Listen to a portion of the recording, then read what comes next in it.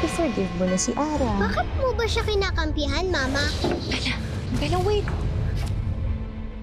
Paano kung sa isang igla, biglang naglaho ang iyong anak? Asan na ba si Bella? Saan ba napunta yung batang yun?